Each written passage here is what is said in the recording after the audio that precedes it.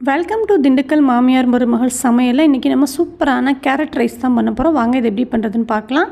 First ஒரு கடாய் வச்சுக்கோங்க. மூணு ஸ்பூன் அளவுக்கு எண்ணெய் சேர்த்துக்கோங்க. எண்ணெய் காஞ்சதுக்கு அப்புறமா கடுகு உளுந்த பருப்பு சேர்த்துக்கோங்க. பொரிஞ்சதுக்கப்புறமா ஒரு டீஸ்பூன் சீரகம் போட்டுக்கலாம். சீரகம் நல்லா பொரியட்டும். இப்போ பார்த்தீங்கன்னா நம்ம பொடிசாக கட் பண்ணி வச்சுருக்க வெள்ளைப்பூடு சேர்த்துக்கலாம். ஒரு பச்சை மிளகாய் இந்த மாதிரி கட் பண்ணி சேர்த்துடலாம் கருவேப்பிலை ஒரு கொத்து சேர்த்துடலாம். இது எல்லாமே நல்லா பொரியட்டும். மீடியம் சைஸ் வெங்காயத்தில் பாதி நீல வாக்கில் கட் பண்ணி இந்த மாதிரி சேர்த்துக்கோங்க. வெங்காயம் வந்து நல்லா வந்து வதக்கி விட்டுருங்க.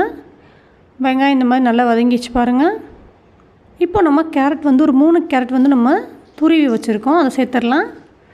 கேரட்டை சேர்த்துட்டு நல்லா இந்த மாதிரி மிக்ஸ் பண்ணிடுங்க. கேரட் வந்து ரொம்ப நேரம் வதங்கக்கூடாது. ஒரு வந்து முக்கால்வாசி வதங்கினா போதும். இப்போ நம்ம கால் டீஸ்பூன் அளவுக்கு உப்பு சேர்த்துடலாம்.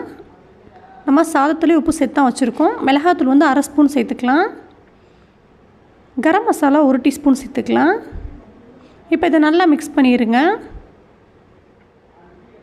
இப்போ இந்த மாதிரி நல்லா மிக்ஸ் பண்ணியாச்சு. இப்போ நம்ம சாதத்தை வந்து வடித்து வச்சுருக்கோம் சேர்த்துடலாம்.